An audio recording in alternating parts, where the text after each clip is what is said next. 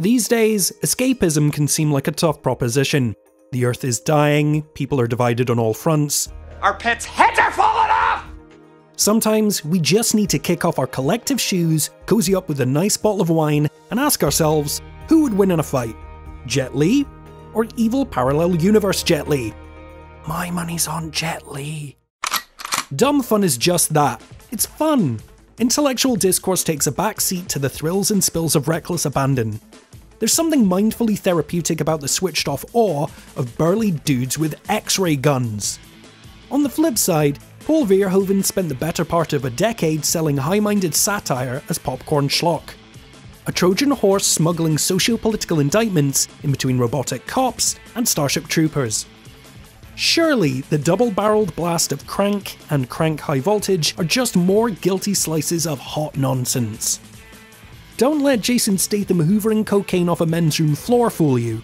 Colourful commentary, intertextual mashup, and existential allegory are all dished out, even if they're wrapped in scorched meat and trash.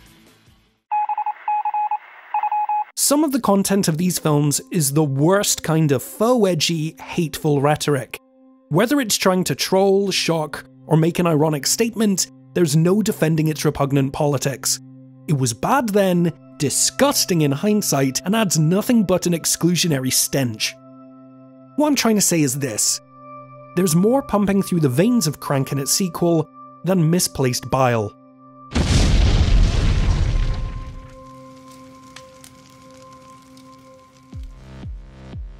These films aren't so much paced and structured as they are an ecstasy fueled race.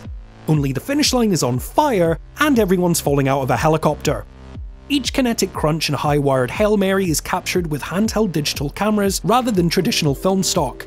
Beyond the format allowing for greater flexibility when it came to shooting and editing, it's essential to the very look of Crank. The sun-bleached image of mid-2000s digital photography not only accentuates the scorched earth antics of our protagonist, but it also crafts a stylistic identity from what could have been considered an aesthetic limitation. If you look at its digital contemporaries of the era, namely 28 Days Later and Collateral, the reason they hold up to scrutiny isn't the fidelity of the image. If you're looking for celluloid warmth or that Super 8 feeling, prepare to offend your cinematic sensibilities. 28 days later, with its surveillance state slash straight from the 5 o'clock news tangibility, lent a dose of kitchen sink realism to apocalyptic Britain. Collateral went on to use the format's brilliant interpretation of ambient lighting to render the streets with a humming glow of caffeinated commutes. If you've ever taken Film School 101, you'll have heard the medium is the message. In short, it means that the very nature by which you're conveying information informs what you're trying to say. Through this symbiosis, Crank is as much a film about our digital world as it is a product of it. Quick turnaround, unrestrained creative freedom, and intertextual referencing have grown across all media as we've bailed out on the analog age and embraced electronic means of consumption and creation. Sampling in 80s hip hop birthed the cut, copy, create electronic boom of the 90s and turned sonic collages into cohesive creations. Whereas DJ Shadow and Aphex Twin had their MPC 60s and DAT tapes, directors Neveldine and Taylor stocked up on store bought cameras and pop culture crucifixions, ready to warp both past the point of recognition. I can't take credit for whoever dubbed these films Speed Without the Bus, but that's the high concept in a nutshell.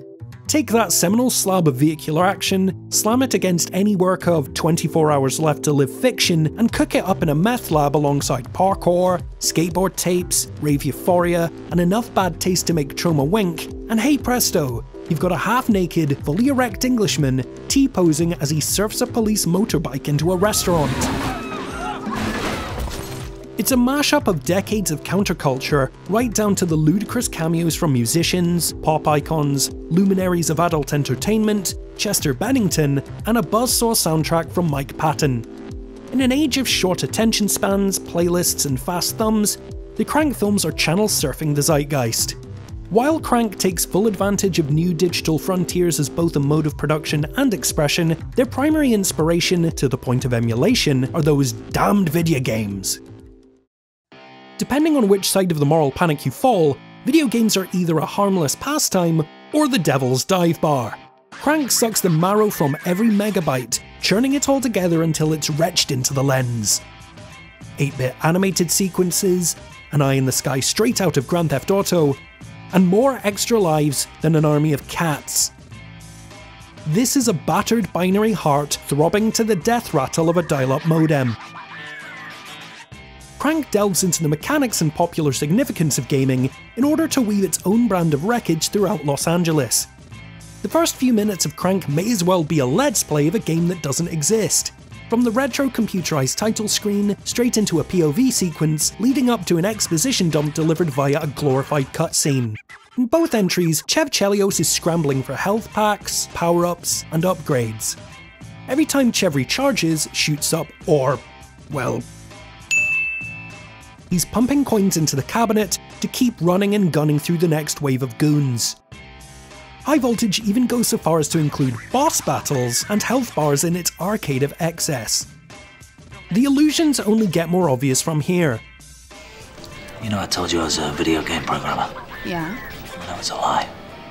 This nudge nudge wink wink to the games industry is expanded on in High Voltage, where we meet Chev in a flashback to his wayward youth. He's like a ghost. He just plays those video games all day, all night, Video games. all day. Based on Chev Chelios' age, his mother and this obnoxious talk show host are essentially blaming the first generation of computer games for the ever escalating body count. Yep, this jerk gets shot in the face because of Pong.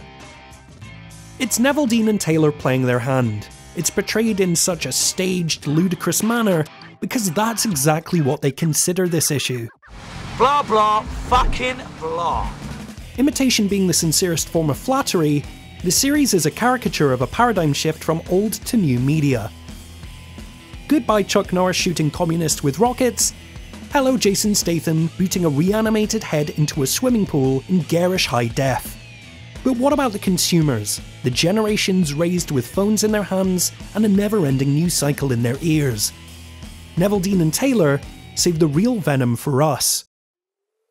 You could be mistaken for thinking these films are elaborately staged ads for the benefit of good cellular service. Practically none of the expository dialogue in this series is delivered in person, and Chev's biggest lifesaver in these films isn't his gun or gurn, it's his mobile phone. They're making a point of delivering the plot crucial information in the most mundane way possible as a direct contrast to every bombastic set piece. Here's a fun statistic. Of the series' total combined running times, 12% is spent on the phone. That's 19 minutes of watching this. It's a Pavlovian response. Whenever the phone rings, the world gets tuned out. Television doesn't get off any lighter. Unresponsive, indifferent masses huddle around news broadcasts warning of an imminent threat, so imminent, it stood next to them with a raging hard on. The broadcast journalists either stare dead eyed into the camera or curse with an apathetic sigh. being treated as the bullshit they most likely are. It's the resigned shrug of a city destroying itself while we cut commercial break. In our always on existence, these devices are our guiding star and our stones of shame. So we're at an intellectual impasse. While these technologies have given us unparalleled freedom of expression, we're content to consume rather than create.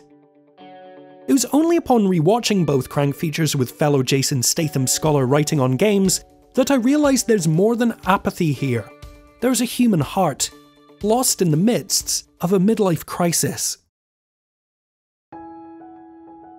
Chev Chelios is a man stuck in second gear.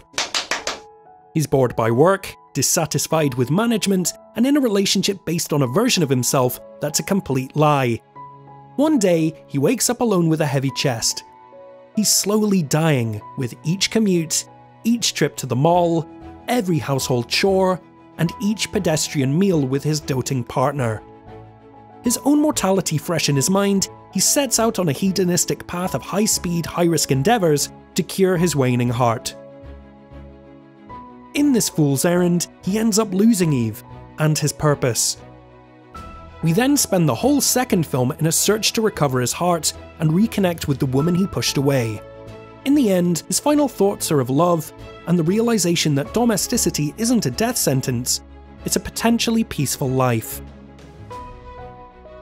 Whether you're on board with the allegorical angle or not, there's something to be said for a body of work that can be summarised as either a journey towards existential self acceptance, or three hours of a skinhead hurting himself to get his pulse going. Summing up the Crank series with the soundbite is no easy task. Both act as a fascinating document of a transitional period, for better and worse. They're a calculated clash of ideas, occasionally kneecapped by homophobic, racist, ableist, and misogynistic shock tactics. Whether you think I'm reaching or giving too much credit is entirely up to you, and I'm 100% on board with just kicking back and enjoying the ride. They aren't ever going to be studied alongside Michael Mann or boil over into the political debates of a Kathryn Bigelow feature, but if you can get past Crank and Crank High Voltage's reliance on bad taste, there may be more to sink your teeth into.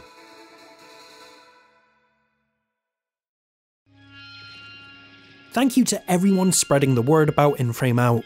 Together, we're gonna grow this channel until it's big enough to get me a giraffe. Feel free to like, share, and subscribe, and let us know in the comments what action film you think has more going on than initially meets the eye. Until next time, or until I get a giraffe, this is In Frame Out.